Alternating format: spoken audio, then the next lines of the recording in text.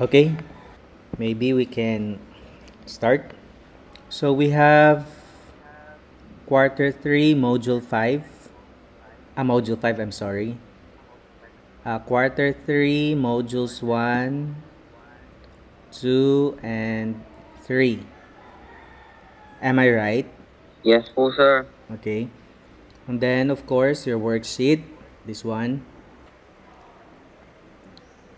Okay, so your worksheet actually comprises of activities from your module 1, your module 2, and of course, your module 3.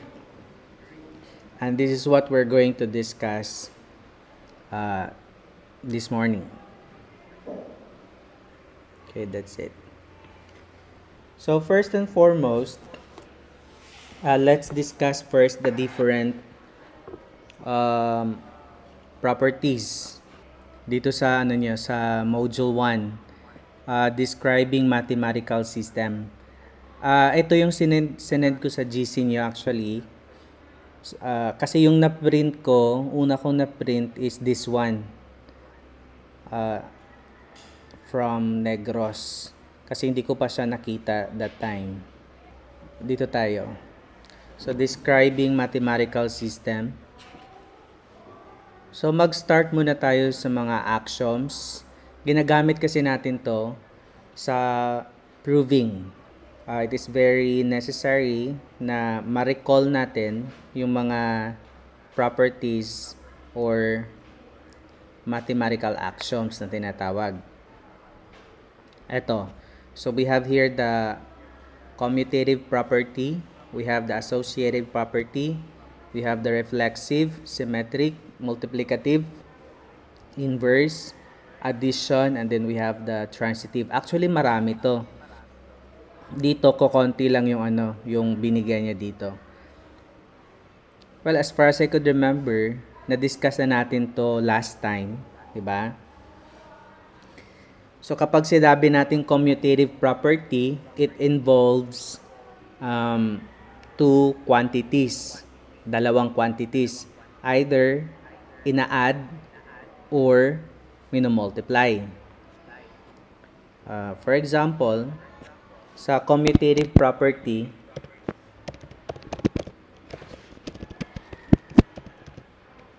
property of addition addition halimbawa, for example, kung meron tayong dalawang number, let's say 5 and 3. So, 5 plus 3 is equal to 3 plus 5. Pareho lang yon. That means, that means that the order of the addends does not affect the sum. Ang ibig sabihin nun kahit anong order natin silang i-add, hindi magbabago yung sum nila. Yun ang ibig sabihin ng um, commutative property. Sa addition ha, of addition. Okay? While, mabilisan lang to class ha, while sa commutative property of multiplication naman,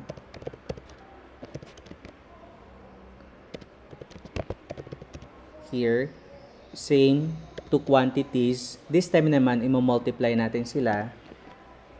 So, for example, we have 5 times 3.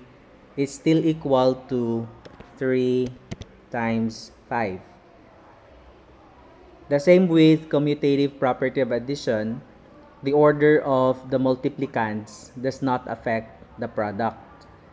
So 5 times 3 is still equal to 3 times 5.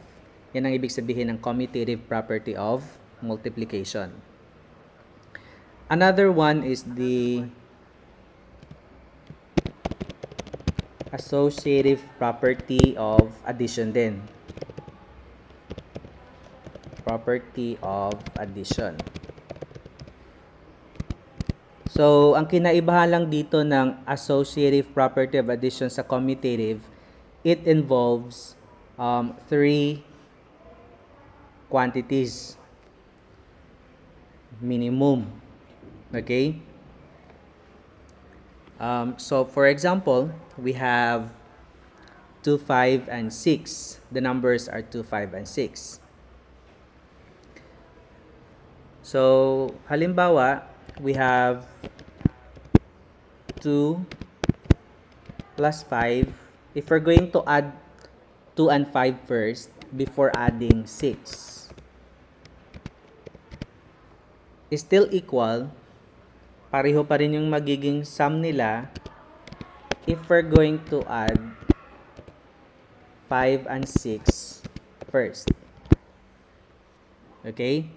So, dito sa left hand side, we added 2 and 5 first. That is 7. And then plus 6. So, we have 13. On the right hand side, we added 5 and 6 first. So, we have 11 plus 2 here. We have 13 still. So, as you can see, the order of the addends does not affect the sum. Are you following? Yes. Okay, so that is associative property of addition. Of course, we also have associative property of multiplication. It still involves um, three quantities, the least. So in here, we're going to multiply first 2 and 5. Okay? 2 times 5. Before we multiply it to 6. Will it still be equal to 2 times and then 5 times 6? Okay? So on the left hand side, we multiplied 2 and 5 first. We have 10 and then times 6. So we have 60. On the right hand side, we multiplied 5 and 6 first. We have 30 and then multiplied by 2. So we still have 60. So as you can see, the order of the numbers to be multiplied does not affect the product. Okay? So that's what associative property of multiplication means. Uh, take note ha, we always perform the operation inside the parentheses first, following the GEMDAS rule. Okay. Are you familiar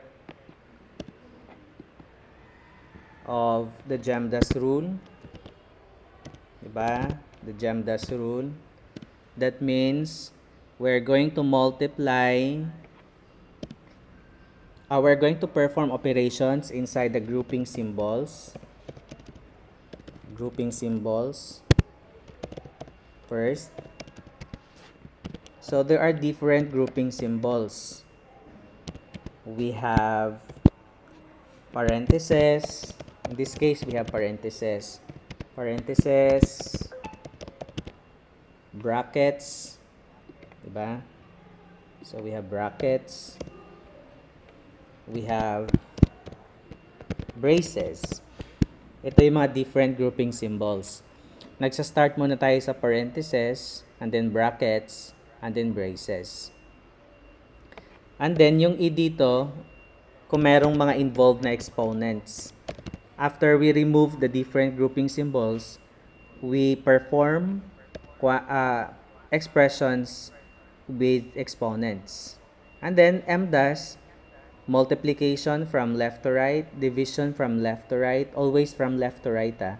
And then division, addition, and then subtraction. So, yun yung ibig sabihin ng GEMDAS rule kapag nagsisimplify. And then, we have the distributive property distributive property. That means, kapag sinabi natin distributive, nagdi-distribute.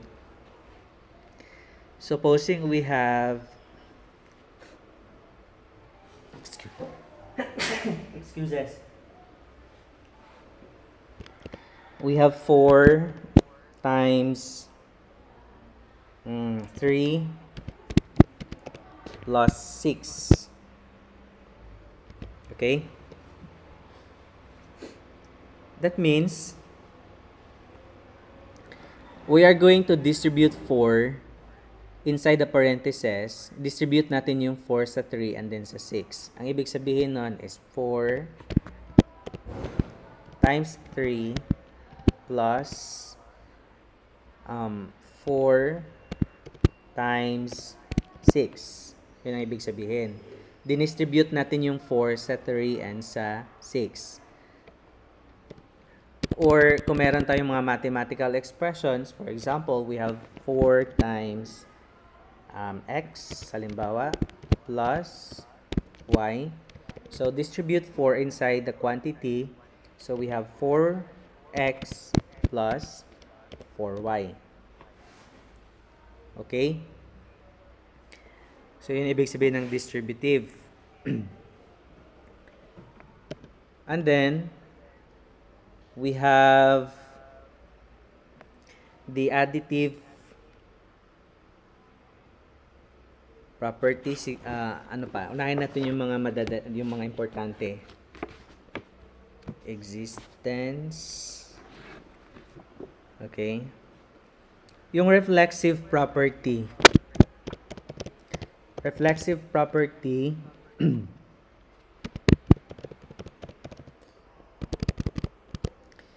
any number, anything is equal to itself. Ang ibig sabihin ng reflexive is any real number is equal to itself or anything is equal to, to itself. For example, we have A is equal to A or 1 is equal to 1.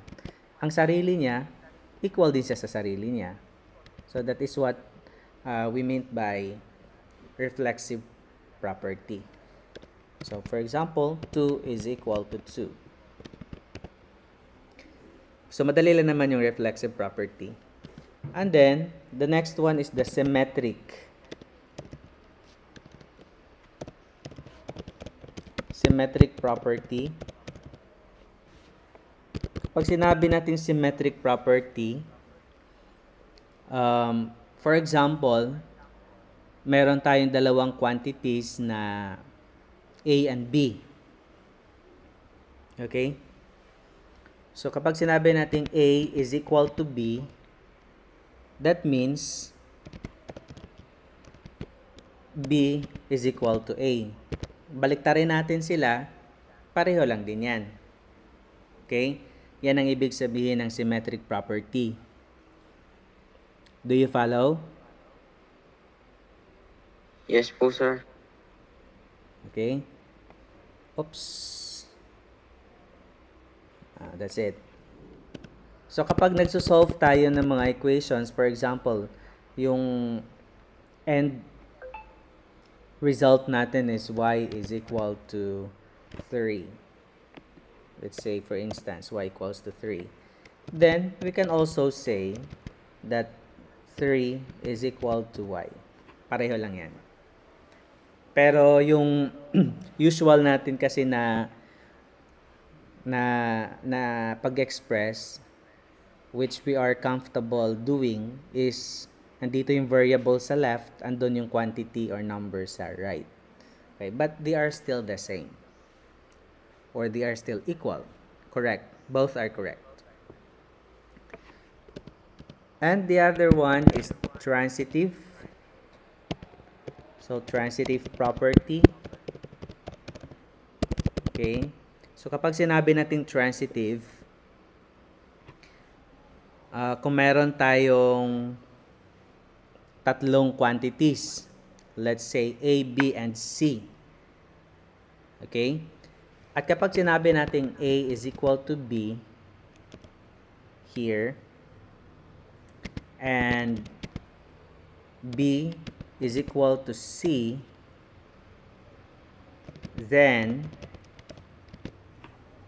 we can say also that A is equal to C. Okay, ulitin ko ha. Kung meron tayong quantities na tatlo or three quantities, A, B, and C. And when we say A is equal to B, kung equal yung value ng A and B, and equal din yung value ng B and C, then we can say that A is also equal to C. Okay? That is what we call the transitive property of equality. Okay? And then next, we have the addition property. Actually, napagdaanan nyo na to sa mga previous nyo ng mga modules eh, sa mga modules nyo. Pero i-refresh lang natin. So, addition property, let's say we have two quantities again, A and B. If A is equal to B, and we're going to add a number to both sides, for example, that number is C, then A plus C is still equal to B plus C. Okay? So, kung ang A daw dito ay equal sa B, tapos nagdagdag tayo ng number na C sa magkabilaan, so A plus C, so pareho lang yung dinagdag natin both sides, meaning equal yung both sides. Equal yung sum sa left and then yung sum sa right. So that is addition property. Same with multiplication. Okay? Same with multiplication property. Sa multiplication property,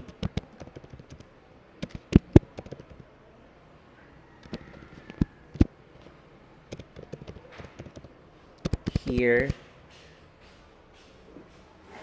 again, if A um, times B, if A is equal to B, I mean, if A is equal to B, then if we're going to multiply a number C to both sides of the equation, then A times C is equal to B times C.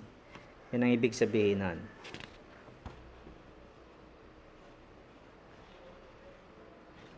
Okay? Do you follow? Naiintindihan niyo, class?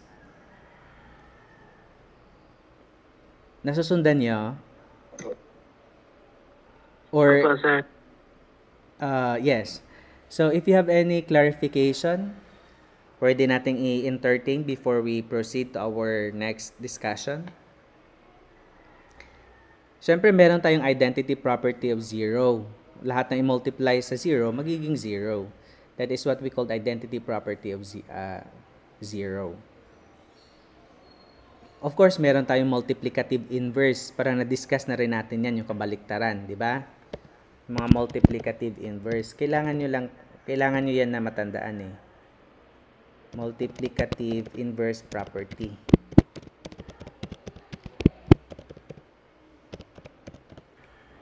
So kung meron tayong uh, meron tayong fraction,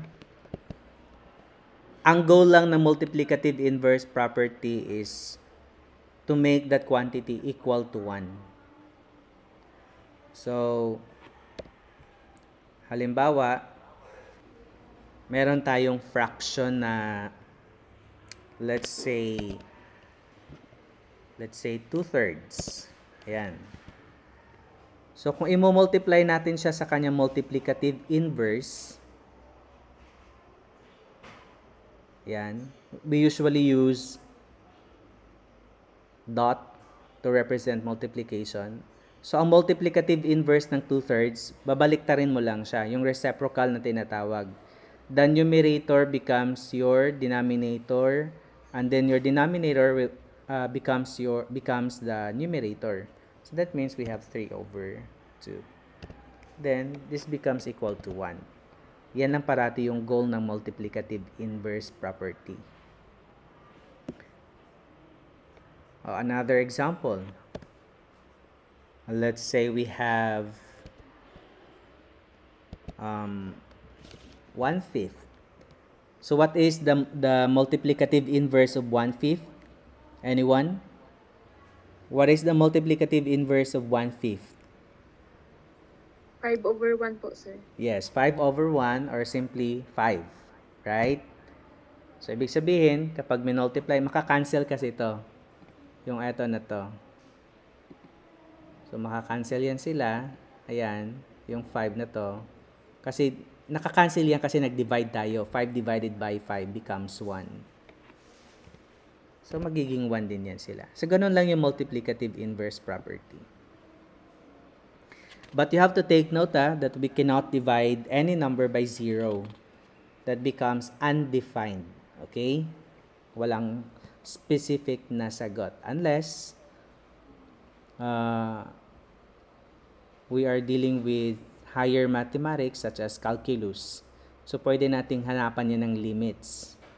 Pero but, but for now, in simpler concept, so any number divided by 0, 0 is undefined. Understood? Aba, sir. Okay. So, do you have any uh, question or clarification? Meron pa kayo sa module hindi natin na- na-discuss dyan. Tignan nyo kung anong property yan dyan. Tignan nyo maigi. Of course, meron din tayong subtraction property. Pareho lang yung addition property. Kung ano yung sinubtract mo both sides, magiging equal pa rin yung sagot. Same with the added the ano addition property dito. Itong dito na to. So meron din tayong subtraction property. That's it. So sa subtraction property, instead we added, we subtract. So then we have a minus c is still equal to um, b minus c. Ganun din naman. Okay? Pareho lang yan. Then let's move. If you have, if you don't have any question or clarification, then let's move on to our next topic. So, andito sa, sa modules nyo, meron kayong ibang, ah, sagutan natin to ng saglit. What is the answer for number one? Commutative. Commutative, commutative property.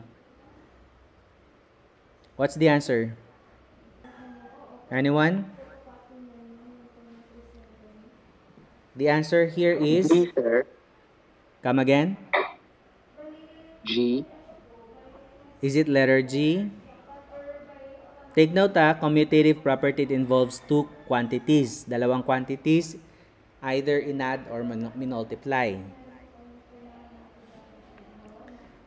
So number one, the answer here is letter what? What's the answer?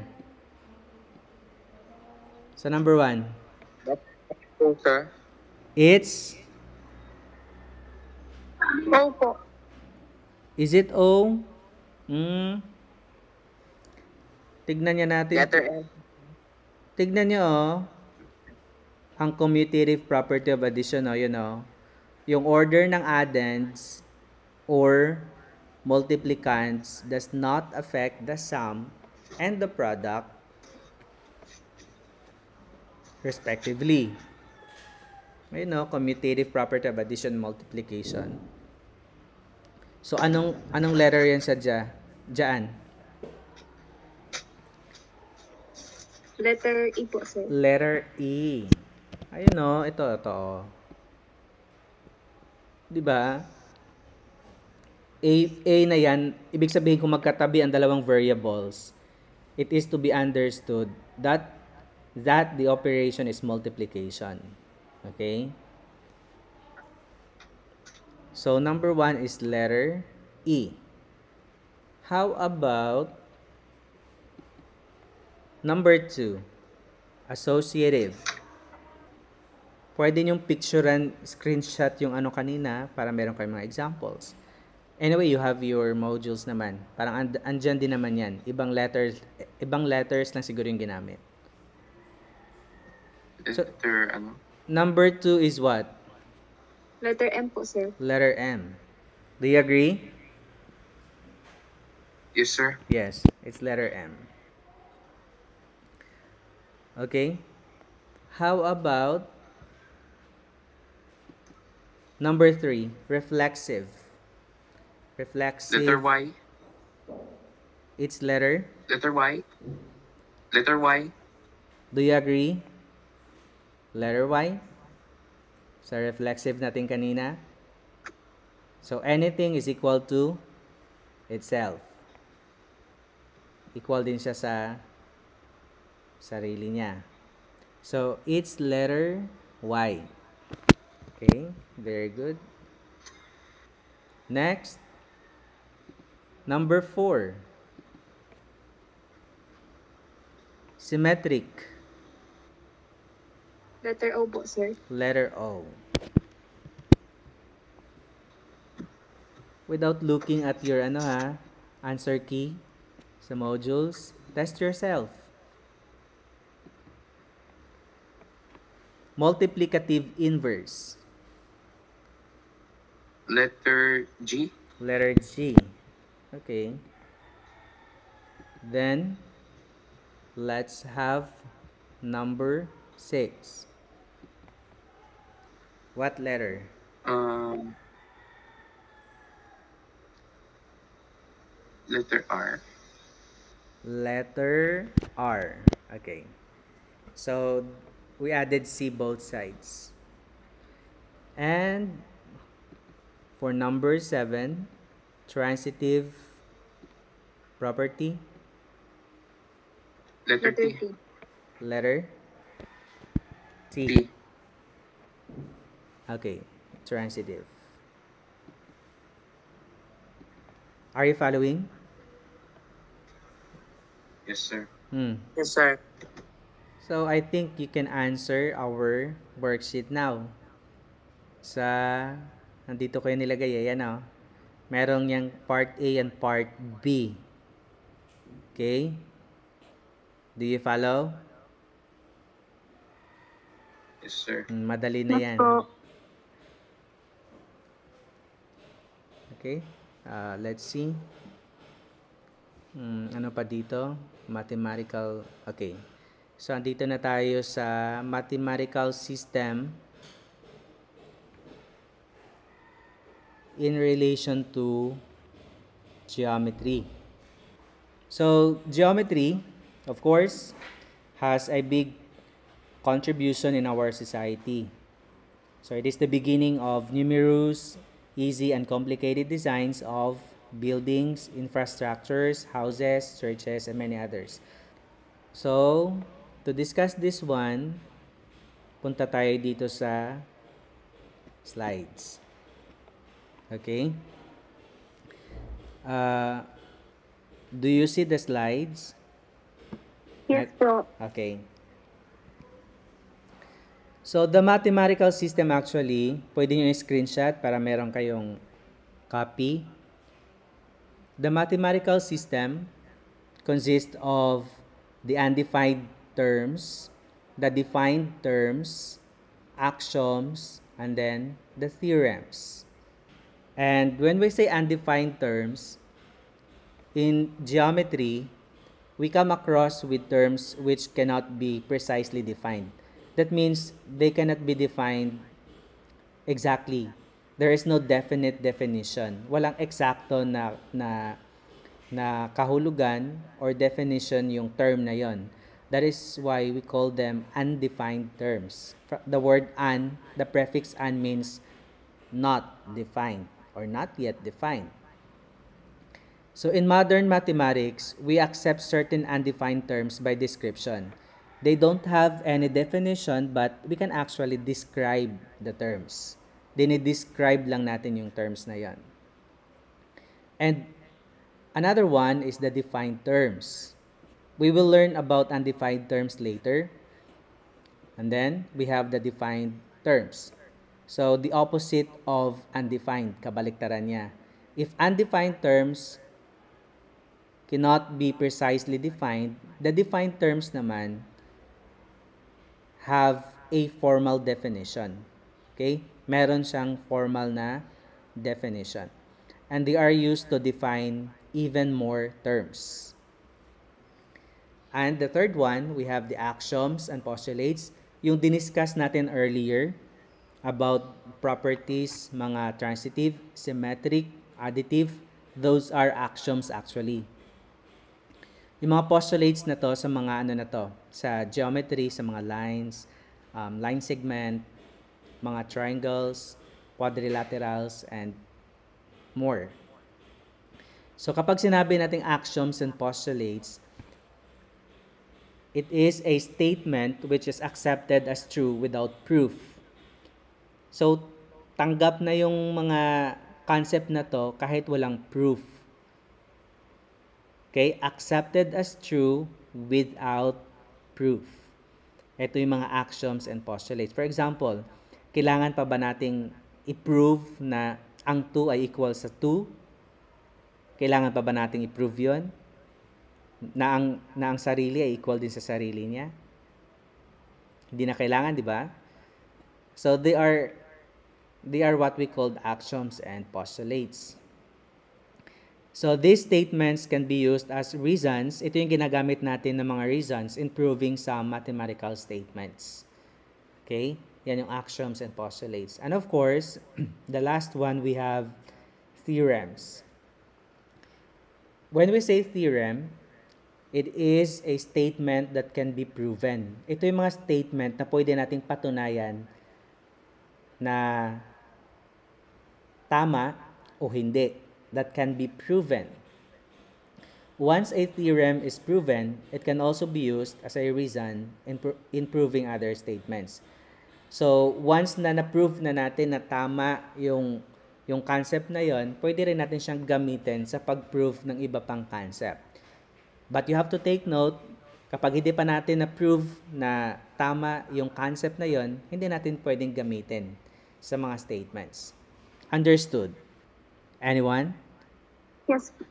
Mag magtanong Yes, lang po. ha. You can you can an- you can butt in actually kung meron kayong hindi maintindihan. If you need to clarify something, then just uh, turn your mic on and then say something. I'll I'll give you time. Okay. So again, these are the four concepts under mathematical systems. We have the undefined terms, the defined terms, the axioms and postulates, and then, of course, the theorems. So, it is very necessary or crucial that you know the difference or the differences ng mga terms na to. Okay, that's it. Then, what are the undefined terms in geometry? This uh, we have here three undefined terms. We have point, line, and then plane. Why do we call these terms undefined? Bakit tinatawag natin na undefined yung mga terms na to? What do you think? Why do you think we call these terms undefined? Anyone? Bakit tinatawag natin silang undefined? Because we can only describe these terms. Pwede lang natin sila ma-describe. Kasi there is no exact naman on how to draw point. ba? Walang exact naman na criteria on how to draw point. Wala siyang definite na thickness, na width, okay? Or length, or depth maybe. So pwede kasi tayong mag pwede kasi tayong mag-drawing ng point na ganito lang. Pwede namang mag ganito kalaki. Okay? So wala siyang definite, wala siyang eksakto na na sukat, na, ha, na lapad or lalim na tinatawag. Kaya nga sila undefined terms. We can only describe them. Okay?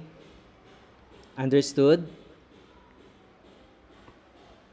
Yes, sir. Okay, that's it. And then the next one is line. Okay? So just like just like point, line has no definite um, width. Depende lang yan sa pagsulat. Okay? For example, ganyan. Pwede namang kapalan. as long as it is a line. Okay? So, we cannot define them precisely, but we can actually describe what is a line. And of course, we have here the plane. Okay? So, kapag sinabi nating plane, a set of points contained in a flat surface, lahat ng flat surface, and extends indefinitely in all directions. Okay? So, for example, yung box na to, so this is an example of a plane. Okay? Set of uh, points contained in this flat surface. Ito, table niyo flat surface. So that is an example of a plane. And and a plane can be extended indefinitely. Okay? Yung concept ng plane pwede nating ma-extend na walang katapusan. And then the defined terms, examples are collinear points, coplanar points, and then subsets of a line. So these are examples of defined terms. Collinear points. As you can see, ginamit na natin dito yung, yung term na point. Okay? And then, line. Here. And then, yung third one dito, under axioms, yung diniscuss natin kanina, yung mga properties, axioms yon And then, postulates. Here. Okay? And then, of course, there are many theorems actually, and we can't discuss them uh, one by one. Di natin sila, we can discuss all the all the theorems involved. Maliban siguro as we prove uh, sa mathematical concepts, kung nagpo-prove tayo, madidiscuss natin sila. Kung nasa face-to-face maybe. Okay? Pwede natin yung madiscuss ng, ng mahaba. So for example here, sa ilalim na to, we have here line. Ito yung undefined terms. Tapos, ginam, dinagdagan natin siya ng segment. So this becomes now the defined terms. Defined, a defined term rather, line segment. And then, we can derive a postulate out of this concept two points determine a line. So, kailangan natin ng dalawang points para makagawa tayo ng line. Kung isang point lang yan, hindi tayo makagawa ng line. For example, if we have point here, and then another point here. So, kapag kinonect natin yung dalawang points, so we can actually create a line. So, that is already a postulate. Understood? Naintindihan? Yes, sir. So that becomes a postulate. And then sa theorem, out of this postulate, the shortest segment from a point not on a not on a line to the line is the perpendicular segment. Okay?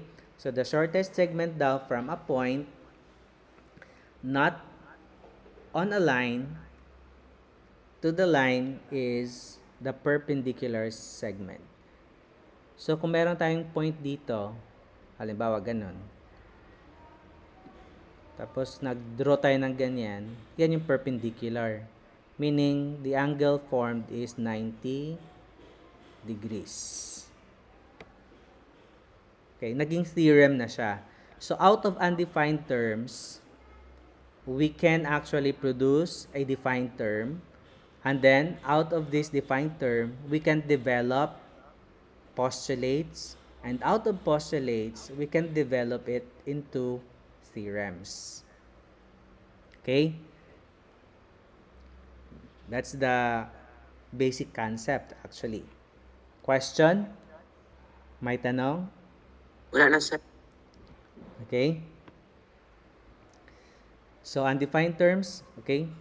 Just I recall, we have point, line, and then we have plane. And some of the defined terms, we have collinear points, coplanar points, non-collinear and non-coplanar points, and subsets of a line. So marami tayong subsets ng line. Kasi meron tayong mga line segment, rays, so on and so forth. Say activity. You tell me if the image or the picture represents a point, a line, or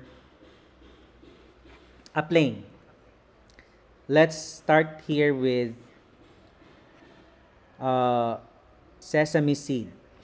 Point, sir. Point po. Okay, it's a point. How about board? Here. Plane. Plane. A Plane plane. po. Yes. Rope.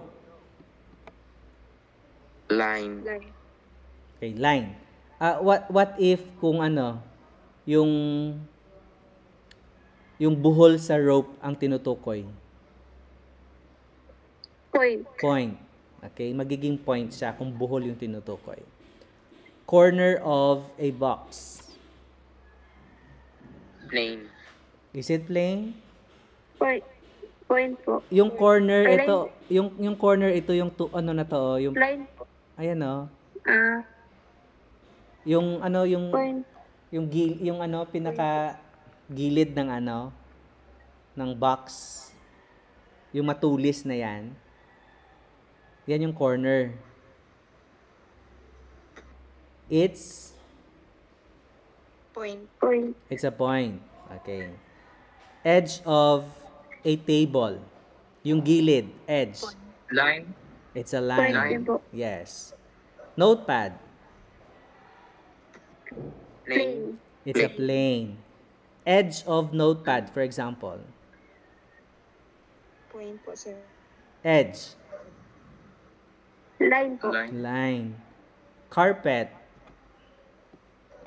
Plane. Plane. it's a plane pencil Line. Point. Line. it's a line Line. pero kung ang tanong tip of a pencil yung tip niya ito yung dulo Point. it's a point Point. tip of a pen Point. Point din po. point din okay understood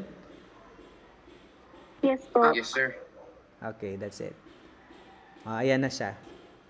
Nasagot na naman natin yan eh. Okay. So let's define now the different terms. Ah, may it be undefined or defined. So kapag sinabi nating point, um, pakibasa nga, Merzel. A position in space has only location but no dimensional length with thickness and does not occupy an area. Yes. So kapag sinabi nating point, a position in space. Kasi ginagamit natin yung point to locate a specific position or location. And it has only location but no dimension, length, width, thickness, and does not occupy an area. So wala kasi siyang specific na na width or thickness. And a point is named using a capital letter and it can be modeled by a dot. So for for example, we have here point A here, we have point B. Masyado nga lang malaki dito yung pagkaka ano ng point. And then point C and point D. Take note ha, we use capital letter to denote a point. Okay? So capital letter, not small letter. And you have to take note that all other geometric figures are made up of a collection of points. Lahat ng mga geometric figures, it all starts from a point and then if we have set of points, then nagkakaroon tayo ng geometric figures. So lahat ng concept ng geometry nag-start halos sa mga undefined terms such as point, line, and then plane. Are you following? Yes po. Yes po, sir. Okay. And then, let's move on to the next undefined term, line. Please read. Kalex? Is Kalex around? Yes po, sir. Please read. Yes po, sir. Go. It is named by a single lowercase script letter Start start from start from its definition. Sa taas. A line is a, a straight continuous arrangement or infinitely many points. Its length is infinite. It extends infinitely in two directions. It has no thickness. Okay? So when we say a line, it is a straight. Okay? Pag tiko yan, hindi yan line ha. Curve na yan. Oh, wait. It is a straight, continuous arrangement of infinitely many points. Okay? Its length is infinite. Kapag sinabi ng infinite, walang katapusan. It extends infinitely in two directions and it has no thickness. Okay, infinitely many points. Halimbawa, ito yung line natin na to. So, kasi maraming points dyan sa gitna. Infinitely. Walang katapusang points yan siya. Okay? Yan ang ibig sabihin nun. Its length is infinite. Kapag sinabi nating infinite, walang katapusan.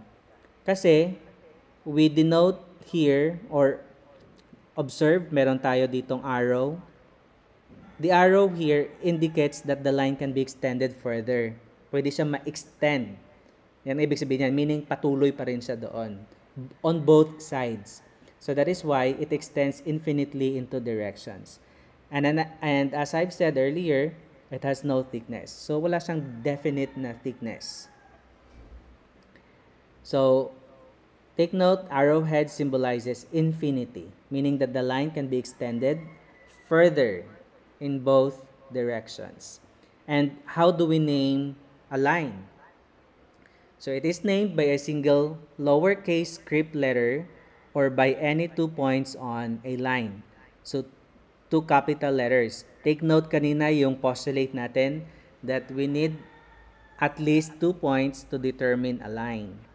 So we have here point A and then point B.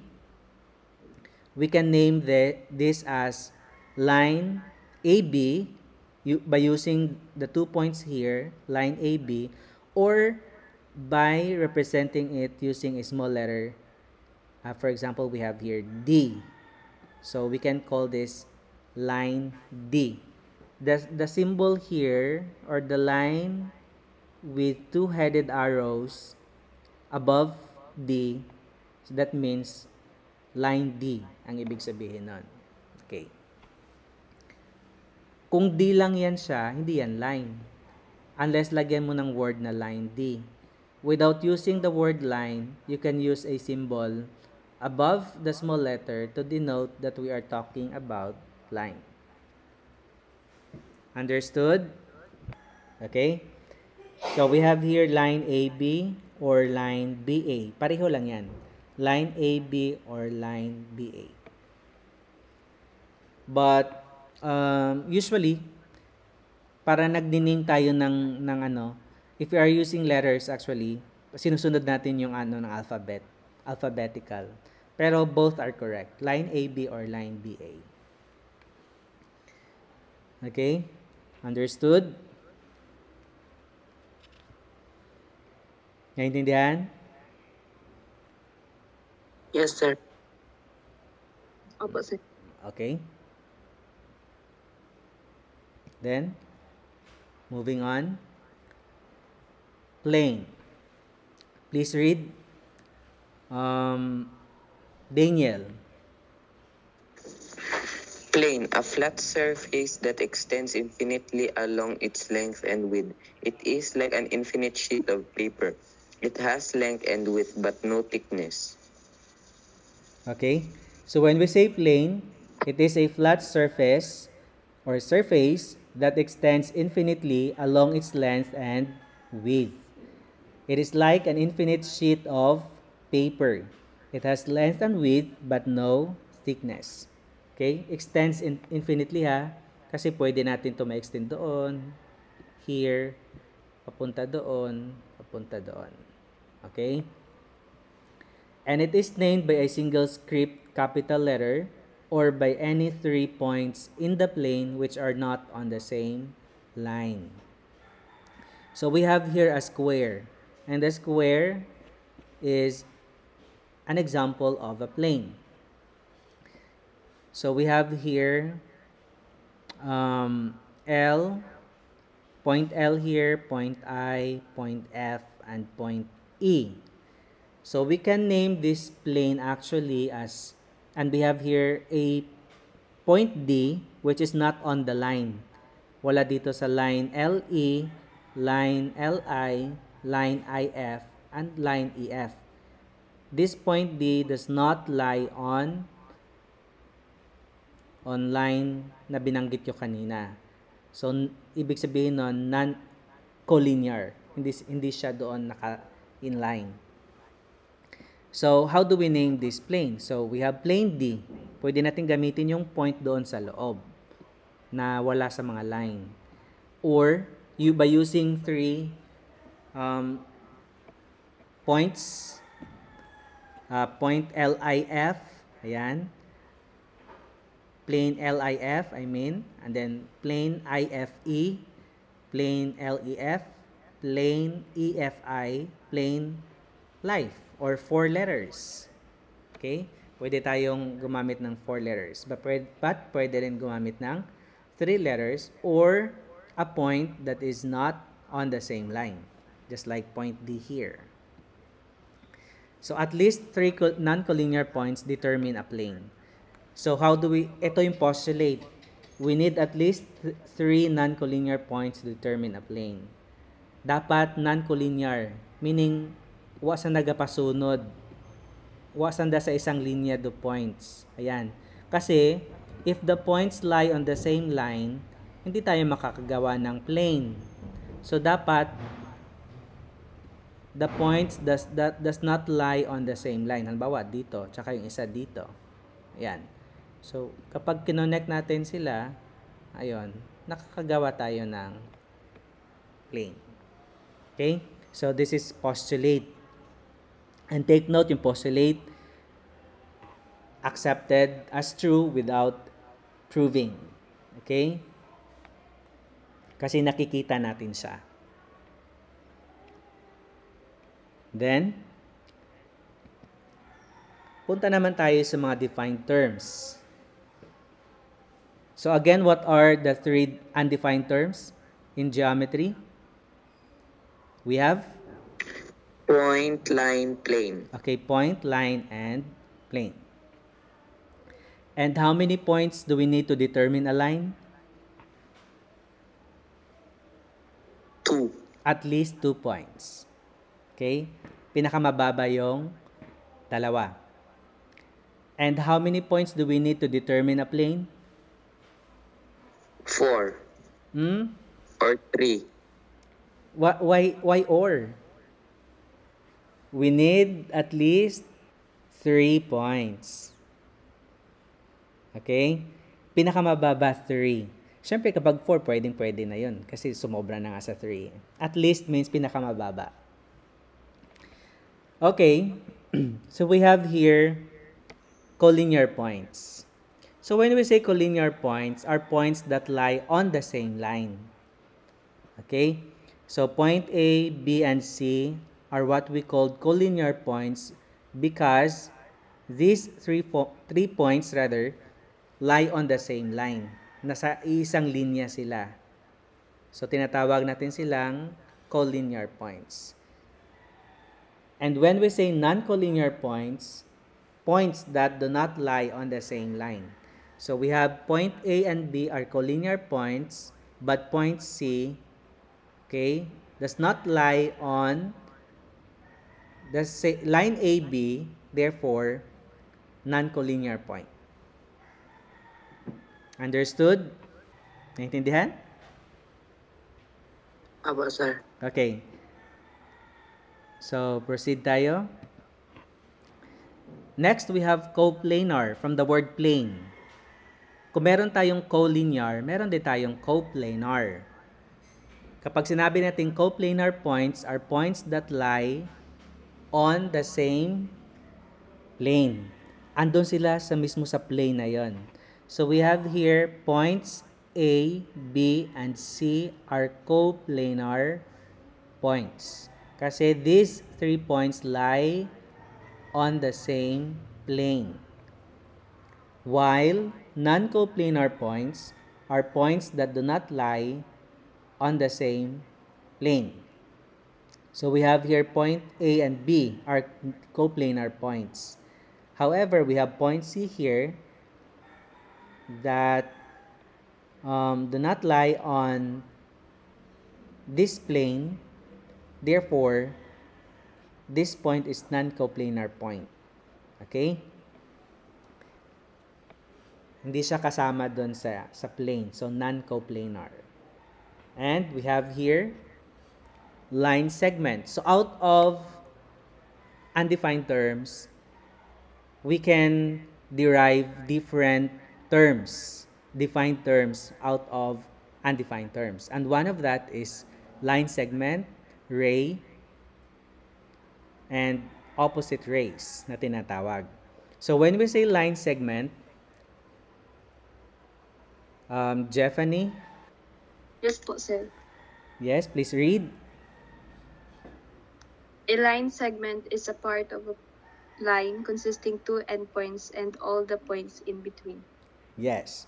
So a line segment is a part of a line, kaya nga tinatawag siyang segment lang siya. So part of a line consisting two endpoints. The endpoints here are point A and B and all the points in between. So hindi lang nilalagay dito yung mga yung mga points pero actually maraming points diyan sa gitna ng A and B. Okay? All the points in between. So how do we name this line segment? So the line segment may be called line AB, line segment AB, or line segment BA. Take note ha, kung ganito ang, ang symbol, that is line, line AB. Pero kung wala siyang arrow, line segment yan siya. Line segment AB, katulad nito. Know the difference. Are you following? Yes po, sir. Okay. Then, let's proceed.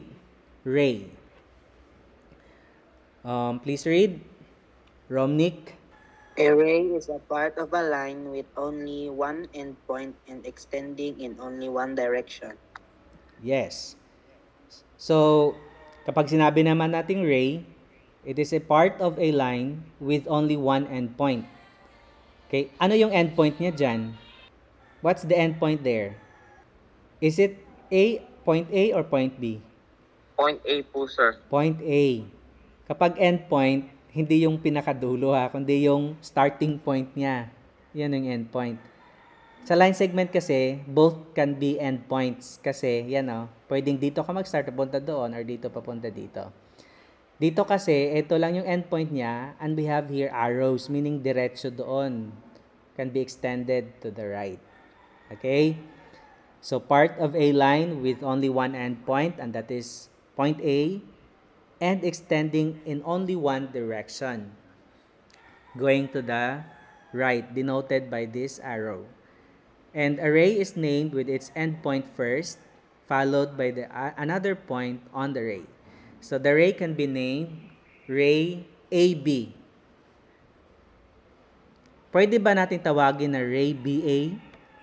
Can we call this ray BA? Anyone? No po, sir. No. Why? Why do you think? Kasi ang sabi dito, named with its endpoint first. And the endpoint is A. Dito siya nag-start.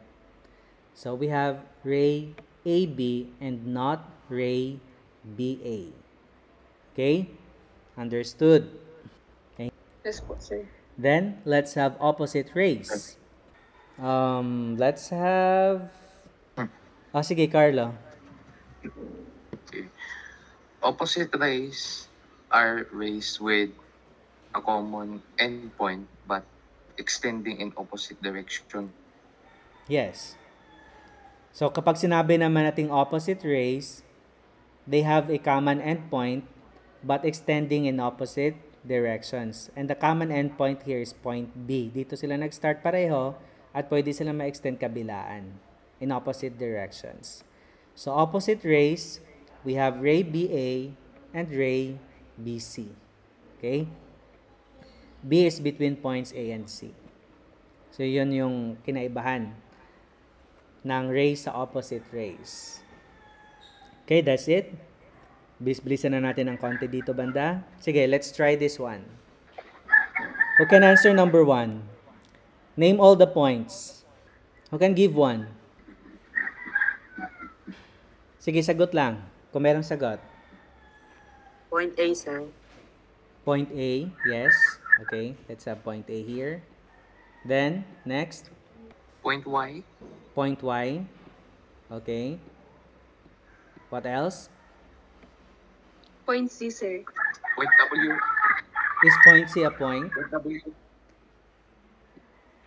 Point W. W, Then,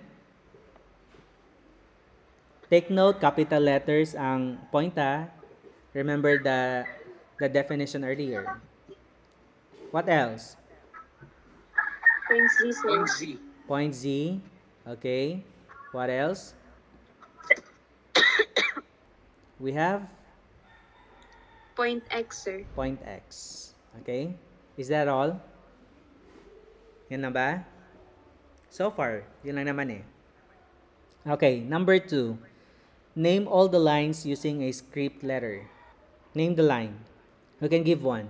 So how do we name a line? Or recall on how to name a line? Using two letters or two points that lie on the say on the line or using a small letter. Yes. We have W, X, sir. line you, you should ano ah, use the the word W. line W Line W, X. okay line W X. Okay correct. What else? ZY, line WX or XW still the same. We have ZY line ZY okay next. Or YZ next. Line WZ. Line WZ hindi ko na isusulat ah line WZ or line ZW correct what else Line XY, sir. line XY or line YX. What else? Okay? What else? We can we we can use small letters. We have what is the other name for line um, ZY? Another way of Line YZ. come again. Line YZ po. Y Z. line YZ, line ZY or line uh, YZ. What else? Another way of naming line ZY or YZ. It's line what? It's line Line D. line D. Ito oh, small letter. Yan yung nirepresent niya na line oh. Yan oh. Okay. How about line WX or XW? Line C. Line C. How about line WZ or ZW? A. A Line A. po. line A. How about line XY or YX? Line B. Line B. Okay, that's it.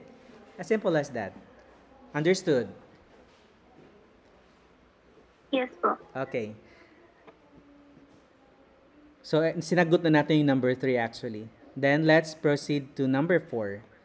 Using a script letter, named a plane formed by the four lines. Who can give me one? This time plane. Recall, to name a plane, we need at least three points, non, three non-collinear points, or by using a small, or a letter rather, a point that is not on the line. Number four. Eto lang naman dito ang plane eh. Ito. oh. Yan. Ito lang yung plane dito. Kasi the rest, hindi sila close-sided figure. So, they are not plane. Pakipangalan nga. Anyone? Uh, let's make it a little bit faster. Anyone? Number four. Using three letters first. Anyone? I'll give the first one. Plain WXY. Plain WXY. What else? Plain Plain XY. WZY po. Plain WZY. What else? Plain XYZ. Plain XYZ. What else? Or pwedeng baliktaran nyo na XYZ or XZYX. Same. Next, Plain YZW. plain YZ YZW or WZY. Meron pa ba? By using one letter. By using one letter, plain what? Plain A, sir. Plain, plain A. Okay? Plain A. Ah, sinagot na naman natin yung ano eh. Ah, by using four letters, Plain WXYZ, sir. plain WXYZ. Okay, very good. That's it. Do you have any question or clarification? Wala na po, sir. Okay. If there is none, then let's proceed.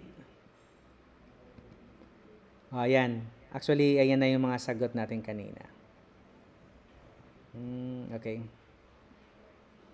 Some of the answers. Okay, let's have another exercise. So, determine whether each of the following is true or false. Number one, read and state your answer. Jillian? Is Jillian around? Jillian? Come on. O sige, let's save Jillian for later. Let's have Merzel. Merzel? Read number one. Read number one and then your answer.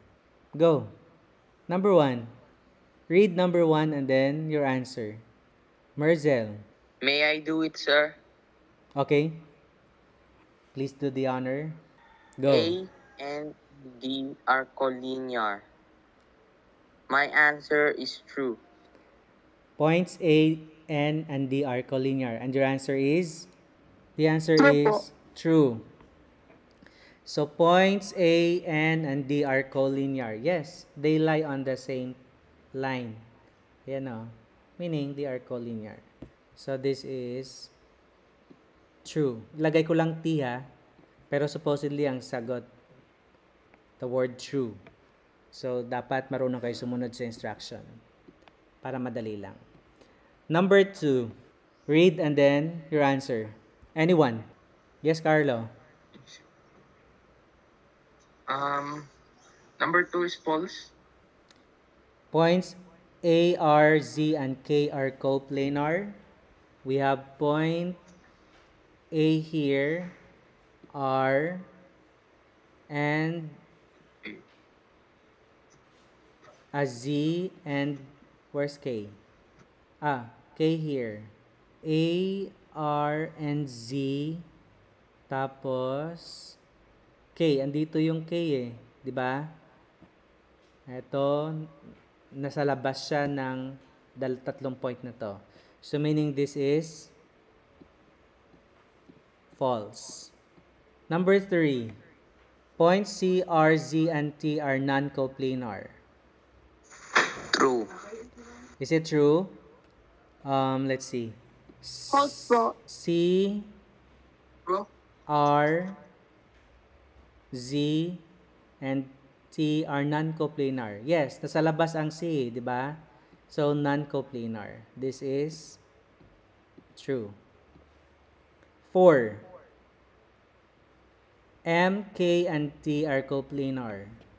M, K, True. and T are coplanar. True. Okay. True. 5. M, R, A, and I are coplanar. M, False. R, False. A, and I. So, nasa labas yung I. Ito kasi yung plane na tinutukoy. Ayun. So, I. Ibig sabihin, ito yung plane na yun. No? So, I should be non-coplanar. So, this is false. RZ points to ha, pero ano ko lang. R, Z, and T are non-collinear. We have here R, Z, and T are non-co- non-collinear. So, we have R, Z, and T are non-collinear. Non-collinear ba? False. False. They are collinear. The points lie on the same line. 7. E, C, and M are collinear. True.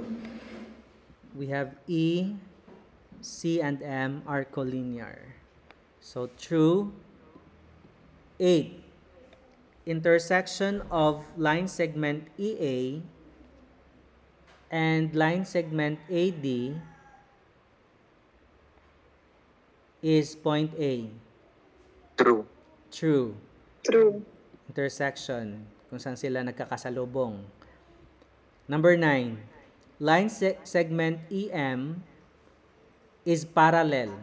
Yan, parallel. To line segment DT. EM is parallel to DT. True. Yan, parallel sila. True. True. A line segment AD and EI here are parallel also. Ito rin oh, etong point EM na to tsaka point ah, line segment AD and line segment EM hindi sila nagmi-met pero hindi sila parallel. Kasi parallel lines are lines that never that will never intersect. Pero may isa pang line na hindi nag-intersect. Ang tawag dito is skew lines. Line EM tsaka A, line segment AD are skew lines. Okay, that's it. Screenshot nyo lang para yan yung sagot. Apo, sir. Just tell me if you need to uh, take a screenshot of our slides for your reference. Okay, next. Punta na tayo dito sa congruence. Okay, punta na tayo sa congruence. So can you see how the idea of congruence is used in the mass production of various products? So when we say congruence, yung pagkakapare-pareho ang ibig sabihin ng congruence. So the idea of congruence always helps to recognize congruent figures in the same orientation. When two figures are congruent, you may slide, flip, or rotate the figures until until they overlap exactly. Kaya ang manonotice nyo kung ipag uh, ipagpatong-patong mo sila, nag-overlap sila kasi congruent sila. So try to imagine kung nag-arrange ka ng mga utensils na hindi congruent, 'di ba mahirap? So importante ang concept ng congruence sa mga pinoproduce, mass-produce na mga products. And try to imagine as well, um, and what, uh, what do we call this one? Try to imagine uh, arranging your money na iba-iba yung sizes, bills, kung hindi sila congruent. So, baka sumusobra sa mga wallets. Right? Hindi maganda. So, mahirap i-organize. So, that's one of the importance of the idea of congruence na tinatawag. So properties of triangle congruence.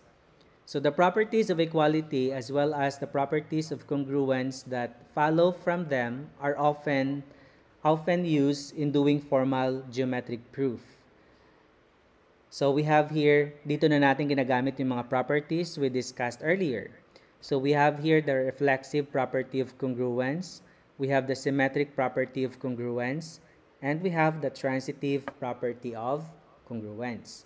So we're going to discuss uh, these one by one. So for example, sa reflexive property of congruence, 'di ba kapag sinabi nating reflexive, uh, anything is equal to itself.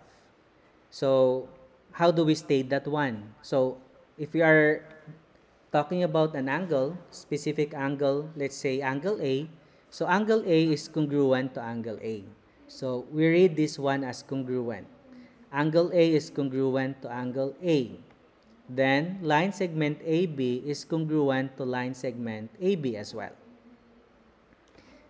Then, how about the symmetric property? Ano nga yung symmetric property kanina natin na tinatawag? Kapag symmetric property, dito kanina sa ano natin? Ayan. Kapag binaliktad natin, pareho pa rin yung um, kalalabasan. If angle A is congruent to angle B, then we can say that angle B is congruent to angle A. So that is how we state actually symmetric property of congruence. If line segment AB is congruent to line segment CD, then we can say as well, excuse me, that line segment CD is congruent to line segment AB. And for transitive property of congruence, if it involves three angles, in this case we have angles A, B, and C. If we say that angle A is congruent to angle B and angle B is congruent to angle C, then we can conclude or say that angle A is congruent to angle C as well. If we're talking about line segment, line segment AB is congruent to line segment CD and line segment CD is congruent to line segment EF, then we can say that line segment AB is congruent to line segment EF. Are you following? Do you follow class? Yes, sir. Okay?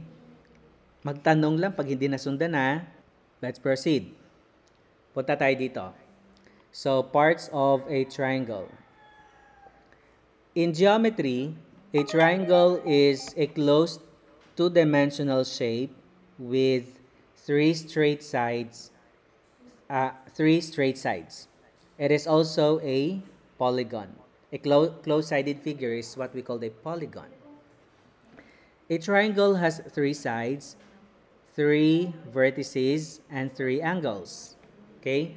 So what are the sides here? So we have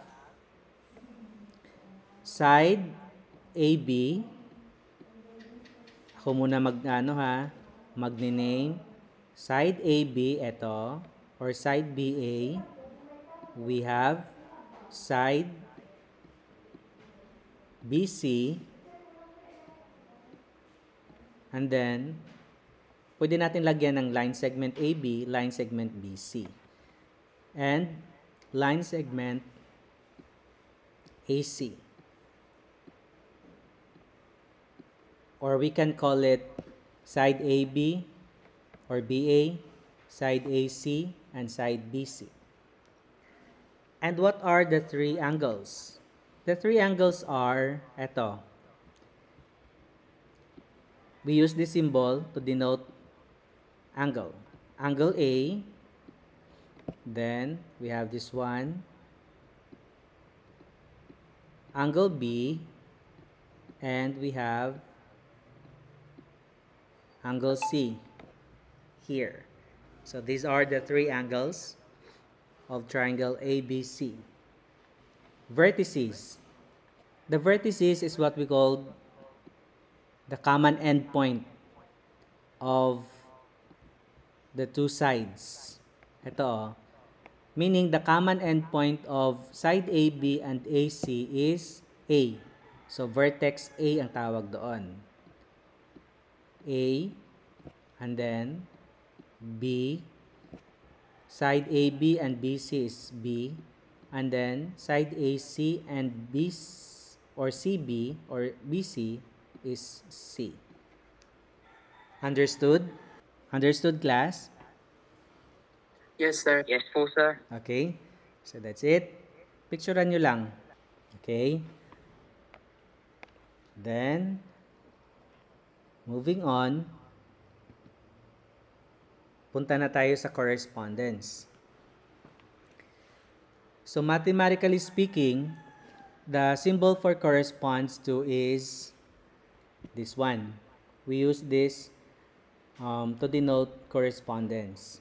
So that means line segment AB corresponds to line segment DE. And angle A corresponds to angle B. To angle A corresponds to angle, it should be D. I'm sorry. This should be D, not B. So, dapat, tignan nyo muna yung figure. Let's look at the figure first. Before, um, before determining what are the corresponding angles and what are the corresponding sides. So, dapat, pareho ang pagkakastate natin ng mga parts. So, dapat, i-draw natin ulit yung, para hindi kayo malito, we're going to draw the triangle by following the other. Exactly the same as the other. Pwede siguro dito, para maliit lang. Pero susundin natin yung drawing na to sa isa. Ayan. Corresponding parts ha. Take note na yung esa, yung yellow na triangle dito, baliktad iba yung pagkakadrawing niya. Upside down siya. So, ano yung corresponding, ano yung angle corresponding to angle A? 'Di ba angle D? Ito oh. So, dapat ito D. Pero kung magaling kang tumingin, no need to draw the figure again. Tignan mo lang yung sa drawing. And then, this is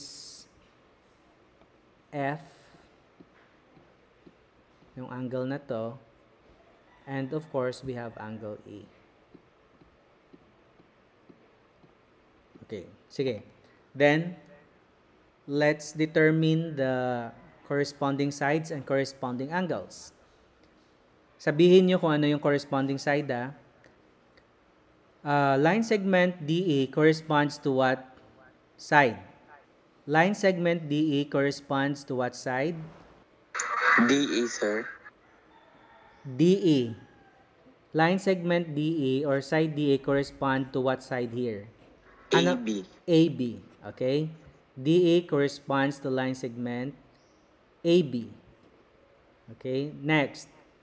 Side DF corresponds to what side here? AC, sir. AC.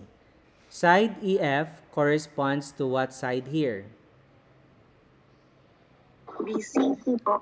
BC. Okay, that's it. Tatlong sides lang naman yan. Now, let's proceed to angles. Corresponding angles. Angle D corresponds to what angle? Angle E. Angle D corresponds to angle A po. A. A. Ayun o, da, pareho, pareho na sila ng figure eh. Ayun o. Kaya natin drawing para to avoid confusion. Angle E corresponds to what angle? B po. Angle B. Angle B.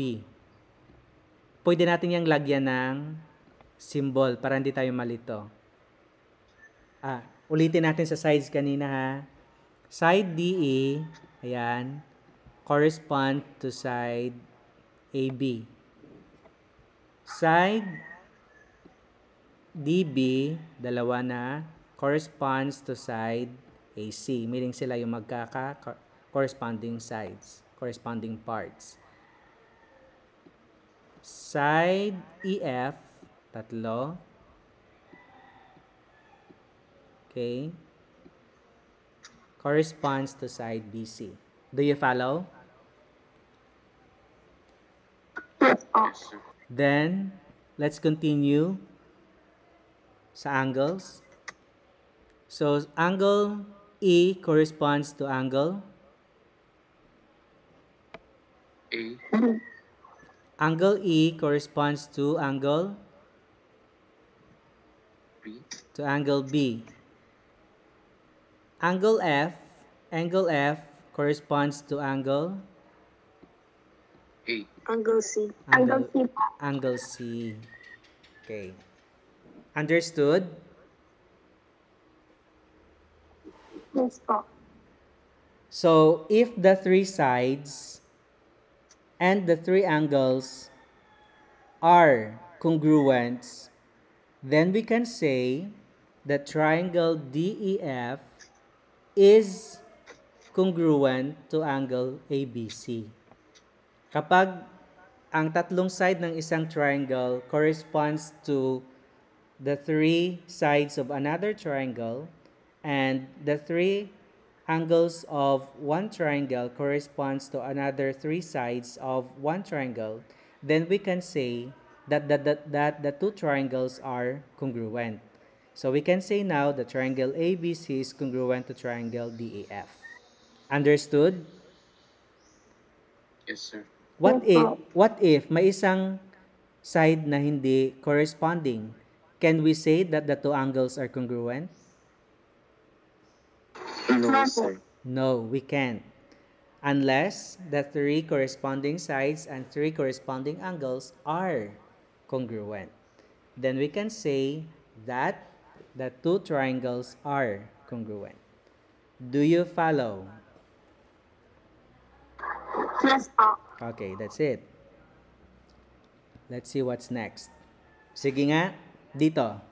Ah, ito yung kanina, no? Hmm. Ito yung kanina na yan. Drawing lang natin ng pareho. Yes. Ito yung, ito yung answer actually. Pwede nyo screenshot. Are you done? Yes, po, sir. Okay. Yes, sir. That's it. Oh, eto, meron tayo dito. Observe this one. Triangle ABC daw is congruent to triangle E EDF. ABC is congruent to a triangle EDF. Although we are talking the same triangle here, but the way it was named is not by corresponding parts. It's not according to its corresponding part. Dapat, kung nag-start ka dito sa A, magsa-start ka rin doon sa D. Followed by B, followed by E, followed by C, followed by F. By corresponding parts. Understood? Yes po. Kapag hindi ganun yung pagkapangalan mo, although ah, tama naman yung mga corresponding angles and corresponding sides, pero mali yung pagkakastate mo ng pagkakasunod ng parts, that is wrong. So be careful ah, when naming two congruent triangles. That should be according to corresponding parts. Tinatawag natin yun na CPCTC. Corresponding parts of congruent triangles are congruent. Ito, ito yung sinistate natin kapag nagpo-prove na tayo. Okay, that's it. O, sige nga. I'll give you time for these two triangles. State or determine the three corresponding sides and three corresponding angles. I'll give you five, uh, three minutes or two minutes. Madali lang naman yan. Go. Try to draw similar triangles on your paper and then mark the corresponding sides and corresponding angles, just like what I did earlier. Are you done? Are you done, class? Okay, tapos na. Let's see. Tap- Tapos, sir. Ah, eto. Okay, tignan nyo kung tama kayo. Pwede namang iba yung pagkakamark nyo, basta pareho lang sila. So, tama ba? Ah, let's start from the corresponding angles. Angle C corresponds to angle D. Tama kayo? Angle A corresponds... Okay. Angle A corresponds to angle O. Angle T corresponds to angle G. Um, line, side, and then side CA corresponds to side DO, side AT corresponds to side OG, and side CT corresponds to side DG. If all the corresponding angles and corresponding sides corresponds to each other, then we can say that triangle DOG is congruent to triangle CAT. Who got it correctly? Lahat kayo? Opo. Yes, sir. Okay, that's good. Okay, let's have this one. Sige nga, another one. Yung angle, o, yung O na to, dito to sa pink ha. Ah, yung O na to. Ang A na to, dito to sa, ano, sa blue. State nyo tapos yung congruent. Kindly turn your mic off first, Merzel. Para hindi mag-feedback. Ay, I'm sorry. This O belongs to blue. Yung A dito belongs to pink. Ah, to pink, I mean. Ah, we have here dog, triangle dog, and triangle cat. I'm done na po, sir. Okay, sige. Let's wait a few seconds. Then, let's discuss your answers. Review mo lang una. Okay? Let's see. Ayan. Tama ba? Check your answer. Your answers. Tama? Opo, sir. Okay. So, if all the corresponding angles are congruent and all the corresponding sides are congruent as well, then we can say the triangle CAT is congruent to triangle DOG or triangle cat is congruent to triangle dog. Pwede ba nating pangalanan na triangle triangle A TC is congruent to triangle OGD. Is it still correct? Yes, sir. Yes. As long as by part. Kung ito ka um, nag-una, ito rin dapat ang, ang una doon sa kabila. Understood? By corresponding part. Yes, sir. Okay, that's it. Uh, another one. Complete the congruent statement. The markings are done for you. Just complete the statement. Just tell me if you're done. Are you done? Done na po, sir. Okay. Um, since you are the first one, try to answer the first figure here. What's your answer here? Hmm. What's your answer? Triangle man. Bear po, sir. Triangle M-A-N is congruent to what triangle? Ah, eto, eto. Dito, dito. This triangle M-A-N is congruent to what triangle? To triangle den, sir. Okay, triangle D-E-N or den. Tapos. Tama. Correct. Who got it correctly? Lahat ba? Yes, Sir. sir. Yes po. Okay. How about the next one here? Who can tell me the triangle which is congruent to triangle red? Gray, sir. Gray. Triangle Triangle. Gray. Triangle What triangle? R triangle red is G. congruent to triangle Triangle. Gray. Gray. uh, letters kung hindi mabasa. G. R. Come again? E. Triangle Gray. Letters. Use Gray. letters. Triangle. G. G. Why G? Bakit nag-start ka dito sa G? Doon siya G. nag-start. R. E. We have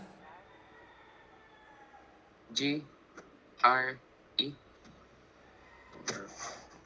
Why GRE? Ang dalawang triangle, RGB po, sir. ano ano?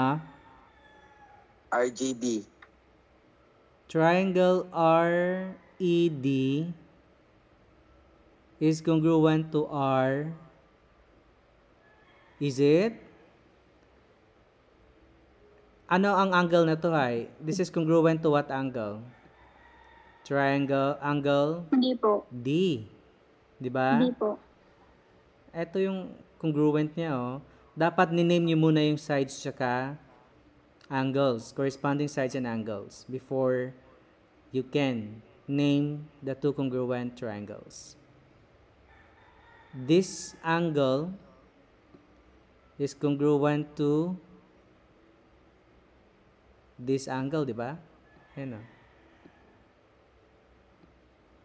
And of course, this angle here is congruent to this angle. So therefore, triangle RED is congruent to triangle what? DGR. D DGR, sir. G BR po. R. Okay, that's it. Are you following? Yes po, sir. Okay, that's it. Then, the next one. Triangle LAN is congruent to what triangle? Determine muna natin yung congruent sides. Side EI is congruent to what side? Congruent to side AN. Angle E is congruent to angle A.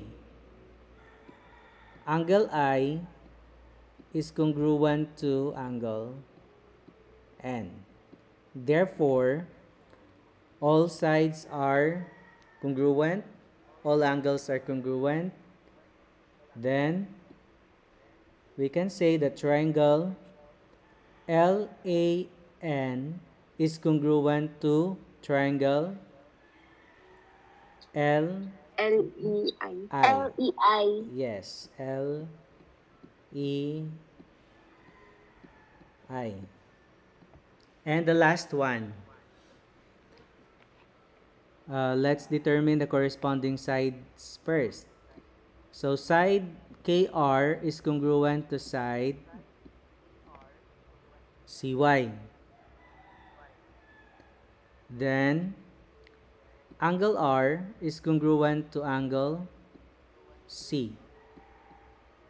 Angle K is congruent to angle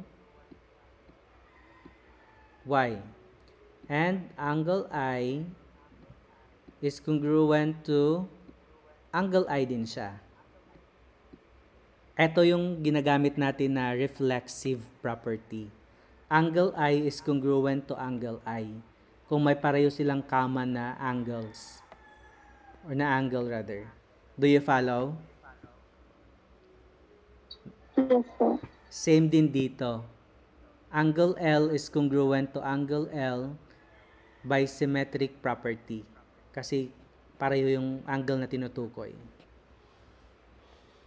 So therefore, triangle RKI is congruent to triangle what? YCI, sir. Po. RKI, meaning ito yung angle na nauna. CYI po. CYI. Yes, CYI. Tignan nyo yung corresponding parts before naming the triangle. Okay na? Naintindihan na? Pwede nyo yung screenshot. Then, oh, last na siguro to. Alas 12 na rin naman. Triangle MAN is congruent to triangle DEN. Name the corresponding part of each of the following. So, angle M corresponds to what angle? Bilisan natin. Angle D D. po. Okay, angle D. Ba, bilis na. D. D. Angle E corresponds to what angle? Angle Angle A. A. Angle A. Okay. E po. A po. Number 3. Angle E and D corresponds to what angle? Eh, tignan nyo ha. E, ANM. AN. END, ang tinutukoy na to na angle eto, ang sa gitna. Yan yung angle niya. E, N, D. Ayan yung angle niya. Angle N ang tinutukoy. So, angle END is corresponds to angle A and ANM. AN. A, N, M. M. Okay. Side AN or line segment AN here corresponds to what side? EN. EN po. EN. Okay. Be careful with the parts. Angle MAN corresponds to what angle? D. angle D E N. Angle? DEN po. Yes. Angle D E N. Side ND or line segment ND corresponds to what side? NM. NM. Okay, NM. Then, number seven, angle D corresponds to what angle? Angle. M. Angle M. Number eight, side MN corresponds to what side? DN. Not angle, side. Line segment. Line segment or side NE corresponds to Side NA side NA. And number 10, side DN corresponds to Side MN. Side M. MN. Oh, galing. Okay, that's it. So, yan yung sagot natin. O, yan yung sagot. Pwede nyo i-take yung screenshot. Tsaka, okay, that ends our discussion. So, do you have any questions or clarifications? No, sir. Wala na? Wala na No po, sir. Okay, so I'm expecting na ma-answeran nyo na yung inyong worksheets. While it's still fresh on your mind, so try to answer the activities outright. Okay? Understood? Yes, sir. Or if you have Yes any sir. questions or clarifications after this, you can you can you can give me a message actually. So that's all for today. And thank you for attending again our online class. Have a good day, stay safe and good vibes. Thank you, sir. Goodbye, sir. Okay. Thank you po, sir. Yes. Thank you po, Thank you, sir. Thank you, sir. Yes.